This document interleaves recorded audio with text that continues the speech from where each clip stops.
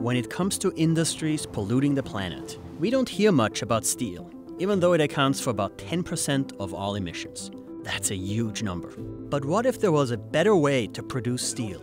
A company in Sweden called Stegra claims they have a method of creating steel with barely any CO2 at all. I'm Gernot Wagner, a climate economist at Columbia Business School, and I'm in Stockholm to find out what makes Stegra's green steel so different from traditional steel.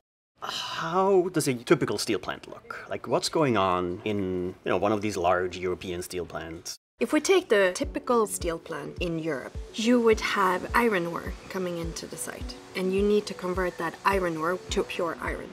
And the way that you do that is that you use a blast furnace and you use coke in the mix in order to get rid of the oxygen so that you get CO2 mm-hmm. uh, and you get iron. So the initial step in traditional steelmaking uses coal to strip oxygen from iron ore to make iron. That's where over 80% of all the emissions in steelmaking come from. Many steel companies are trying to find creative solutions. For example, if you use natural gas instead of coal, you can create hydrogen and carbon monoxide. Those gases react to do the same job as coal, but using a fossil fuel like natural gas is only slightly cleaner. That's why Stegra decided to go in a totally different direction. Use water to create 100% pure green hydrogen on site. So we will split the water into hydrogen and oxygen and use the hydrogen to reduce the iron ore into iron. And so the emissions will be water or steam. So essentially you're replacing natural gas Correct. with green hydrogen. Correct. And green hydrogen is produced by using electricity Correct. and water. Correct. No CO2 emissions. It's incredible. Almost no emissions. The iron production uses green hydrogen and the slabs are heated with electricity. Because of the scale of Stegra's vision, and because of how much water and cheap electricity is needed to create green hydrogen, Stegra needed to set up shop in a place where there was plenty of space and resources. That's why they chose Boden, a remote area in northern Sweden just outside the Arctic Circle. If you take everything into account right now, which has to do with infrastructure, getting access to water, getting access to the grid, I think Boden is purely unique.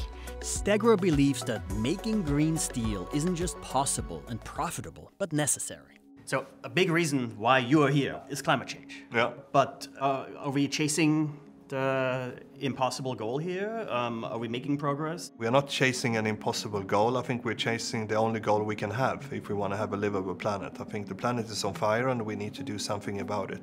It's every business leader's responsibility to not only build a great business, but actually also take responsibility for the planet and society. Our customers, they have done their homework. They know that there will be a tipping point where it makes more sense to buy green, sustainable material rather than buying brown, dirty material with a CO2 tax on top of it. This is a European thing uh, with green steel, I would say. That has to do with the framework with the price on carbon that we have in Europe, which makes it possible then for our customers also to calculate, okay, once there will be uh, carbon tax on material like steel in the future, which is coming now, how much will that cost us? But green steel has an additional cost, known as the green premium.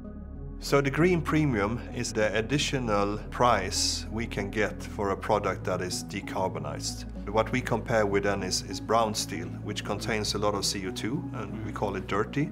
And then the green steel, we say it's clean, it's got no CO2 or very limited CO2. And what the customer is willing to pay for this decarbonized product uh, is what we define as the green premium. Stegra believes green steel will be the norm in the future. But not all steel companies have the capability to make green steel. They need green hydrogen and green iron. That's why Stegra's long term plan isn't to compete with legacy steel companies, but to sell their products and help the industry transition. It's a small but potentially profitable niche.